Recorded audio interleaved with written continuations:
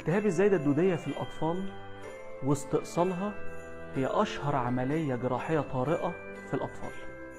والحقيقة إن القصة دي بتعتمد على إننا نعرف الأول هي إيه الزايدة الدودية. الزايدة الدودية هي عبارة عن جزء من القولون لكنه رفيع جدا وشبه الدودة طالع من القولون الصاعد. إزاي أشك كأم أو- كأب لا قدر الله إن ابني أو بنتي عندها التهاب في الزايدة الدودية ده بيعتمد على ثلاث عوامل. رقم واحد المغص أو الوجع في البطن. بيبتدي في كل البطن وبعدين بيتركز على الجانب الأيمن السفلي. رقم اتنين بيبقى الطفل ما عندوش نفس خالص إن هو ياكل. رقم ثلاثة بيبقى حاسس إن هو عايز يرجع حتى لو ما رجعش. الكلام ده لو حصل في أي طفل لازم نتوجه لأكتر دكتور متخصص وهو دكتور جراحة الأطفال.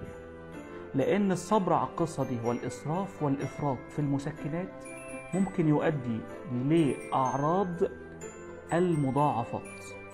وساعتها بنصعب جدا المهمة على دكتور جراحة الأطفال إنه يشخصها كزايدة لأن المسكن بيخفي الألم.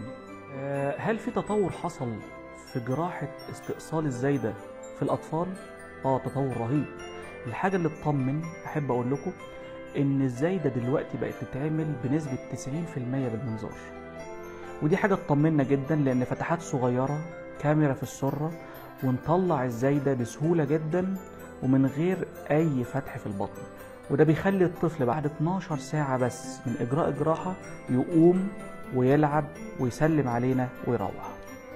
في زايدة تانية في جسم الأطفال زايدة مجهولة إمضاء طبيب قديم جدا اسمه ماكل العالم الجليل ماكل هنعرف عنها المرة الجاية إن شاء الله وإلى لقاء آخر.